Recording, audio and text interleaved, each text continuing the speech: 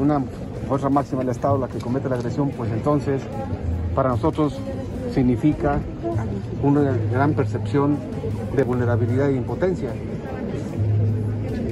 Vamos a tener que seguir insistiendo, vamos a tener que, por lo que nosotros respecta como universidad, pues nunca no vamos a escatimar lo que esté en nuestro alcance.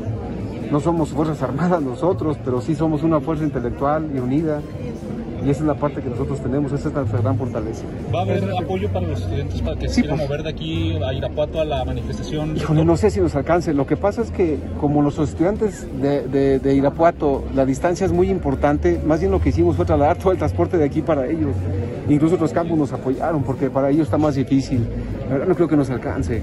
¿Sí? federación ¿Cuáles son las primeras acciones? No, lo que nosotros, a ver, hemos insistido incluso a título académico personal se debe desmilitarizar al país. Eso debe suceder.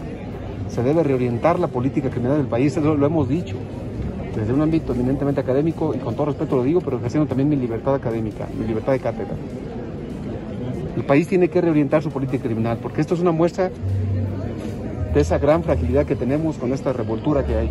Es lo que sí, muchas gracias. gracias.